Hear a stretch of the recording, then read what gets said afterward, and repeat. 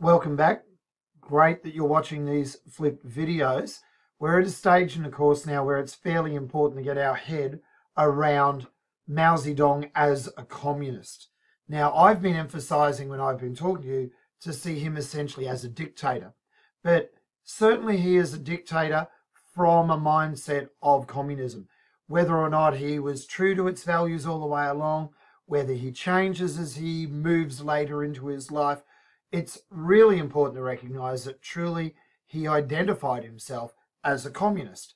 So he's coming from a whole lineage of thinkers who refer to themselves as communist or Marxist Leninist. So, of course, let's start the ball rolling with Karl Marx, the author of the Communist Manifesto, who that book was published in 1848 in Britain, and it established the word communism. And um, Marx co-authors the book, The Communist Manifesto, with Friedrich Engels. Engels really does little intellectually with the book. What Engels' contribution to the writing of the Communist Manifesto is, is money. It requires someone to pay Marx as he's writing and someone to pay the publication fees. So Marx and Engels co-authoring the Communist Manifesto. The theory put forward in the Communist Manifesto is essentially that there is a um, historical materialism process that takes place, where history is, I guess, an engine of progress, that societies improve over time through set phases, and the ultimate high point of all those phases is an almost utopian vision of the world where everyone shares, where there's no private property, there's no need for laws, there's no need for jails because no one commits any crimes, where everyone lives as one in a community, communism. So this theory is sometimes referred to as Marxism. It's a form of socialism. Sometimes it's even referred to as Marxian socialism. Now, in 1917, the first Marxist revolution takes place, the first communist revolution takes place and that's in Russia, led by Vladimir Ilyich Lenin. So, as of 1917, the ideas of Marx have been adapted and changed in a Russian context by Lenin.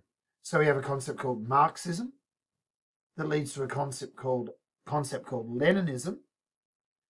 The ideas that Lenin follows he might later on say he belongs to the Communist Party of the Soviet Union, but they really aren't always adhering even to Marx's idea. So we have an adaptation over time. Marx writes a theory with Engels, publishes it in 1848.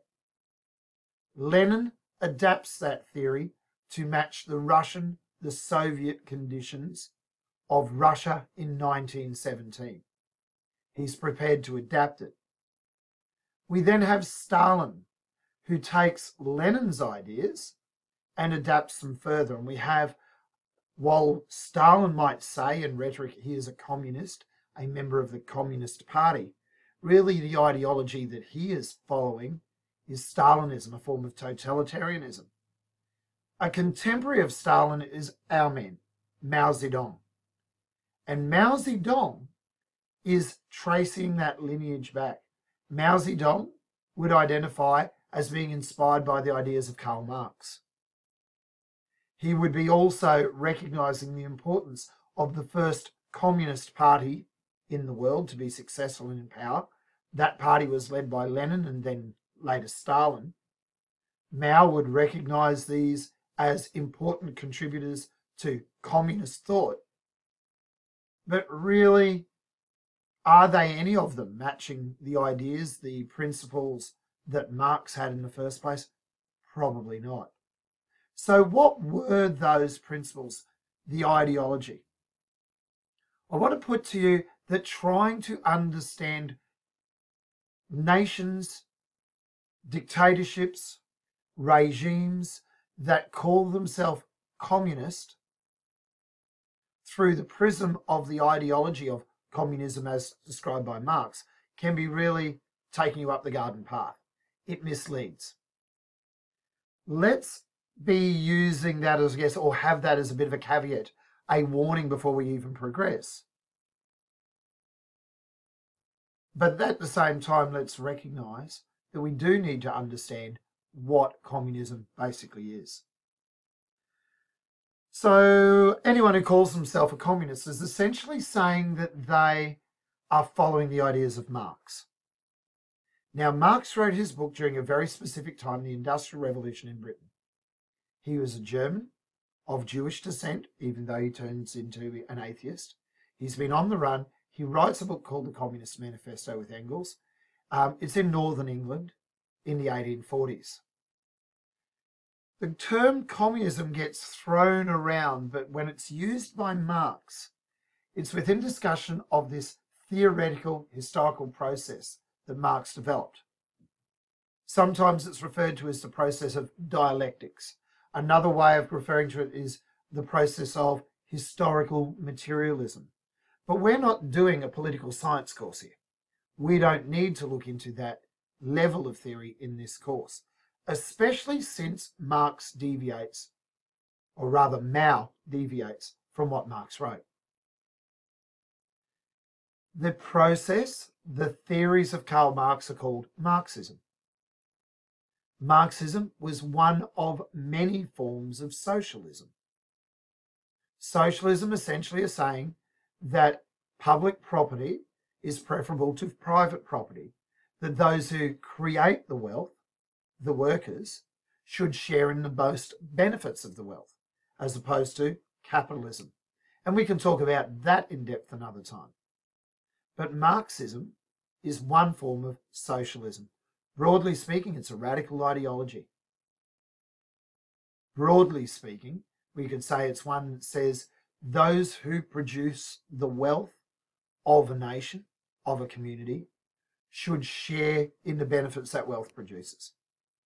Other forms of socialism include Fabian socialism or anarchism, both very different types of socialism.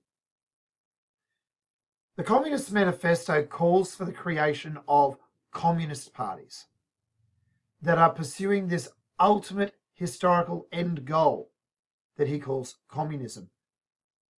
A lot of people use Marxism and communism as if the words are completely interchangeable. That's a really imprecise way of putting it together. When people call themselves communist, they're often essentially saying they're members of communist parties, not necessarily adhering to the ideas of Karl Marx. A true communist state, as described by Marx in the Communist Manifesto, has never existed. The countries of the 20th and 21st century, such as the Soviet Union in the 20th century, North Korea now, the People's Republic of China now, and in the 20th century for both of them, would be unrecognizable as communist in the sense Marx uses the word. So while these communist parties might use the rhetoric, the language of communism, use the theories of Marxism. We need to see through the words, through the propaganda, through the packaging, if you like, and see how those regimes really work. Just because someone says they are in the Communist Party, they are a communist, doesn't mean they are truly at one with the definition of communism that comes out of Karl Marx's work. Frank Dikötter, in one of the uh, podcasts in which he's interviewed, and I've got that for you in our uh, in our content library, essentially says that to a dictator, ideology doesn't really matter. That in the 20th and 21st centuries, dictators are primarily about power. So, I guess the key uh, key takeaway I want you to have here is, don't get overly thrown if you start to feel in your research, in your reading, in your study that Mao's actions seem inconsistent with his belief in Marxism or communism. Don't be thrown if his ideas run counter and his actions run counter to what a communist in theory believes.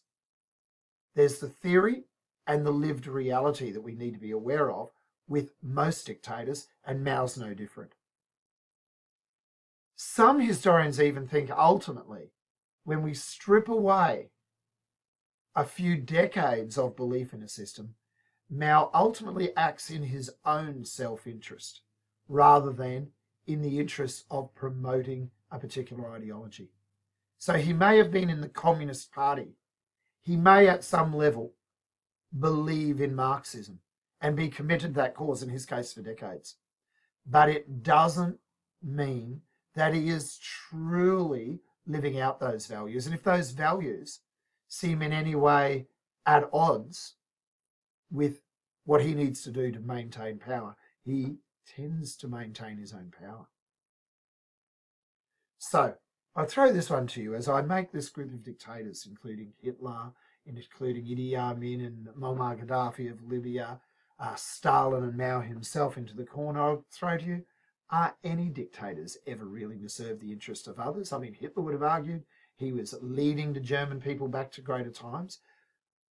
Where do you sit with this? Are dictators ever really truly believing they're serving the dictators of others, or is it all a charade? I'm going to leave you with this thought. Mao says he is the leader of the Communist Party.